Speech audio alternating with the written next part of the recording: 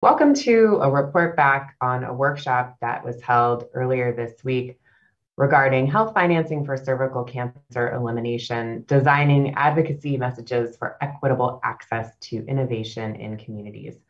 My name is Margaret Cornelius.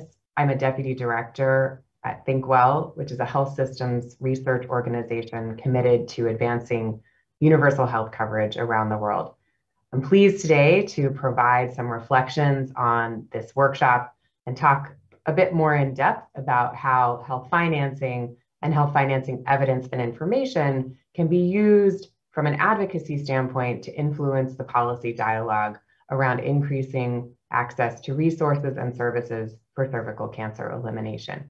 So, the objectives of the workshop were really to invite the participants who mostly represent civil society organizations to learn more about health financing from a technical standpoint and also see how health financing information and evidence is relevant to their priorities and their objectives in their countries. One of the things that we talk about in health financing is really about where the money comes from, how it's used, how it's organized, and what objectives it's trying to achieve. And the importance of this dynamic is really to understand how we can promote access to better quality care and more access to cancer and cervical cancer elimination services.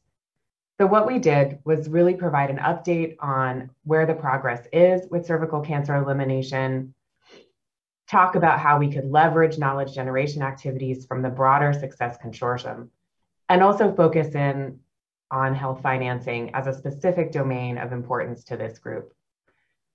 We spent a little bit of time with the group going through health financing as sort of a technical area. And then we all split up into simulation exercises where we talked about how a health financing approach or a health financing issue area could be leveraged and used in the policy space to get decision makers and policymakers to think about how to mobilize more resources for cervical cancer elimination and use existing health resources to achieve better quality and better access.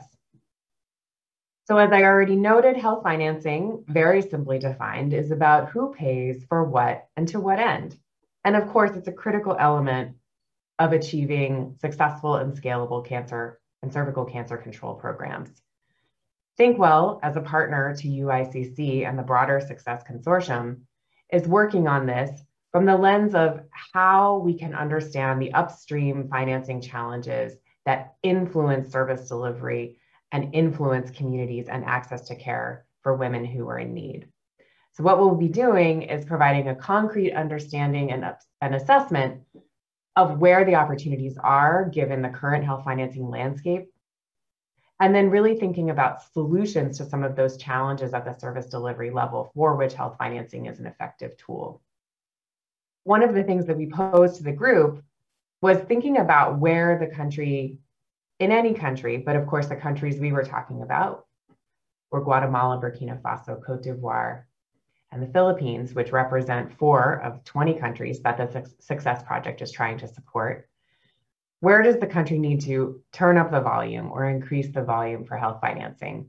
So this slide shows various knobs that might be turned, and you can turn all these knobs simultaneously, or you can turn them in different directions.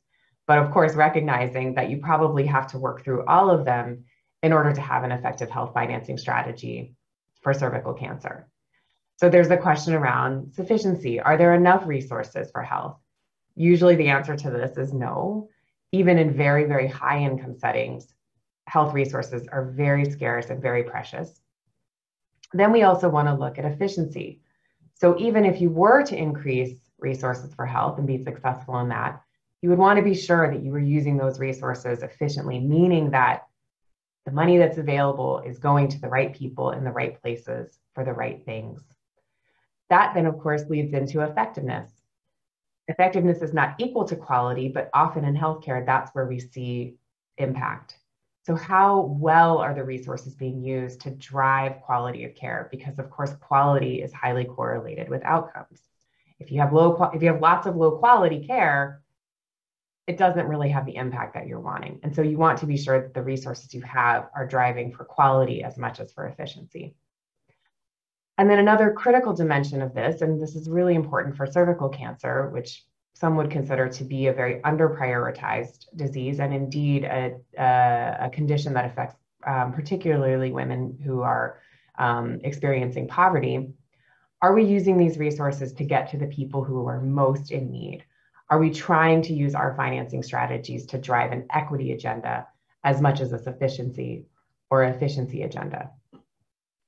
And then finally, this is important for an advocacy community transparency. Do citizens even know what's being spent on health? Do they care? Does it matter? Do citizens advocate for increases in resources for health? This is something that um, I think more work can be done, particularly for cervical cancer elimination. We're actually documenting how resources flow and making sure that that information is in the public domain.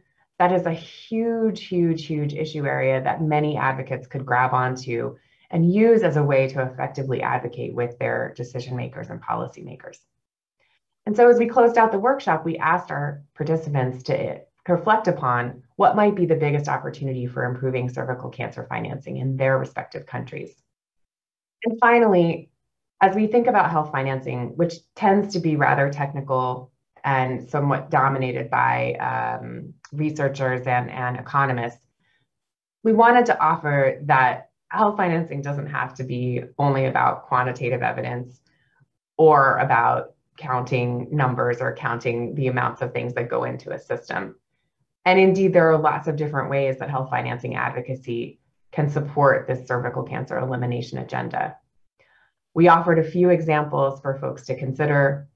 And this is these are not mutually exclusive, but are a representation of how a particular problem might be framed from a challenge standpoint.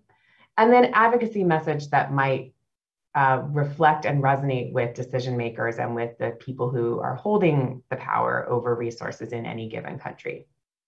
So for example, you may have an environment where health resources are very, very scarce for the entire health system. And then it really becomes a matter of demonstrating value for money, which is, of course, a cost effectiveness argument. So we know that cervical cancer prevention is cost effective. And so, how then you use that information to advocate within the system is a critical thing that many CSOs can take on. I won't go through all of these in detail, but we hope that these are illustrative examples of how financing can come into the policy dialogue and how it can really open up a lot of thinking and a lot of strategizing around how to cover these important services to improve women's health and save women's lives. Thank you so much.